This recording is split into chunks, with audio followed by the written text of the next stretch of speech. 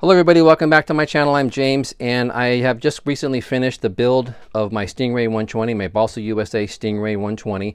And what I want to do now is check the, the weight of the airplane, see what it came out at, and also check the wing loading. Now, if you look at the box specs, it has the weight as eight and a half to nine pounds. But if you go to the website, as I recall, it's up to ten and a half pounds.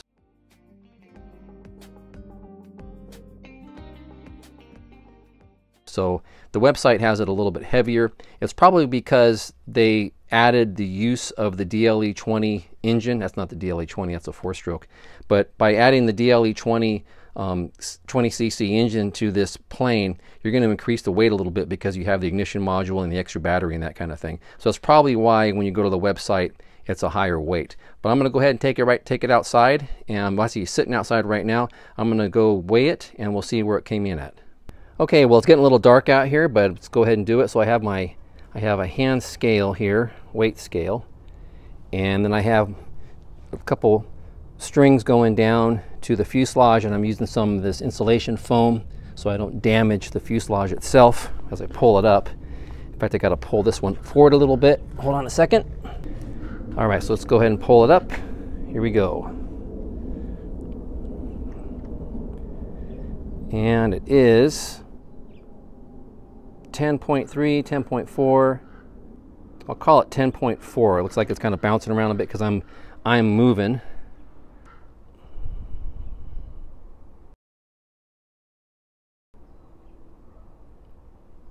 I'm actually happy with that because I know I did some modifications. You know, I added the canopy, um, I added a different landing gear, and this and that. I forget what else, but pretty much I added I added a few things to it, so it still came under the actual high limit of the weight. So I'm happy there. So now I'm gonna go ahead and check the wing loading just for fun.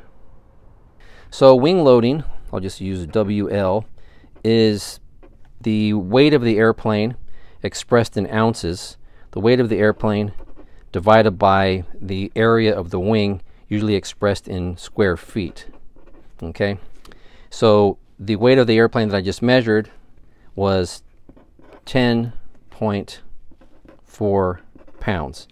So I'm going to go ahead and convert that to ounces. So we're going to multiply that by 16 ounces per pound. And that equals, I already did the math on this, uh, equals 166.4 um, ounces. And then I have to convert my, my wing area, which again here is 1276 uh, inches squared and we're just going to divide that by well what we'll do here is we'll go 144 inches squared and that's equal to one foot squared. And so now it's going to go ahead and do the do the math on this and that comes out to be uh, equals 8.8 feet squared so you just basically divide our 1276 by our 144 and that will convert us to our foot squared. Okay, and then we're going to go ahead and divide now the weight, which is going to be, let's see here, it's 166.4 ounces divided by 8.8 .8 feet square. And again, I already did the math, and that comes out to 18.78 ounces foot square for our wing loading. Okay. So let's talk about wing loading real quick. Let's go ahead. I'm kind of running out of room.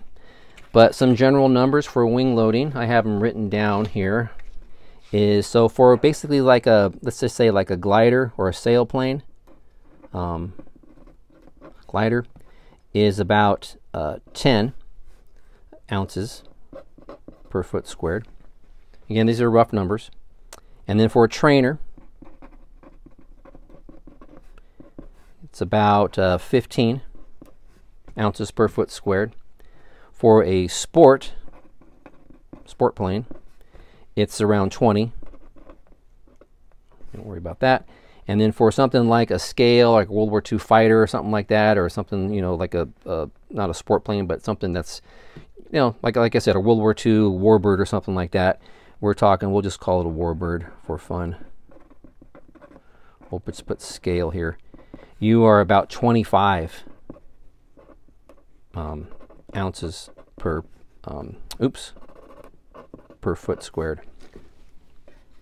Okay, and then so our number, like I said, came in at 18.78 here, and that puts us right in between a trainer and a sport, which I'm really happy with because this plane is basically that. It's basically a sport plane and came in really, really good with those with the numbers here for the wing loading. All right, and just a quick word about wing loading. Wing loading is just sort of the way I look at it, and I'm no expert. The way I look at it, the wing loading is just sort of a way of, it's just a number for looking at a plane to kind of get a feel for how that plane is going to fly and how that plane is going to behave. So obviously, you, you have something like a glider, which has a pretty large wing area for its weight. So that wing loading is very low. So that plane's going to fly slow, it's going to be gliding, doing all that, right? The opposite side of the spectrum, the opposite end of the spectrum, is you have a plane which has a really small wing area. And again, something like your um, World War II, like your warbirds, think about a jet, things like this. They have a pretty small wing area compared to their weight, and they're going to have to fly very, very fast in order to achieve that lift on that smaller wing with that higher weight they're designed, and this is the way they're designed, obviously, they're going to have to fly super fast in order to get that lift. And um, that's that. So it's going to tell you. So that tells you right there, a plane that has a very low wing loading is going to be something that sort of floats around and is really kind of uh, easy to fly, if you if you will. Whereas something with a really high load wing loading is going to be something that's zipping around in the sky. So those are the two sort of ends of the spectrum. And then in between that, we have our trainer and then we have our sport planes. So the trainer is obviously going to be a little bit more than a glider, but a trainer you expect it to be something that you can actually handle because it is just a trainer. So it has a relatively lower wing loading, which you know gives you time to think. You know when you're flying, it's a nice you know. So and then of course the sport is in between your trainer and then something like your scale planes, where you're kind of zipping around the sky, but you're not going too crazy with it. So it's just you know you're doing aerobatics and things like that. That's my sort of uh, dumb guy explanation for wing loading. And I'm sure there's got a lot of you guys out there. Um, um, guys and gals out there who know more about it than I do and will have something to say about it, but that's just the way I look at it, and hopefully that's helpful.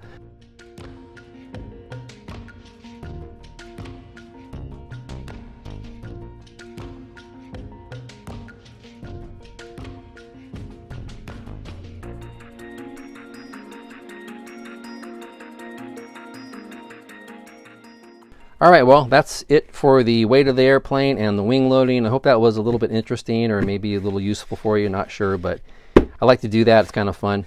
So I got to go grab my airplane. It's sitting outside in the dark.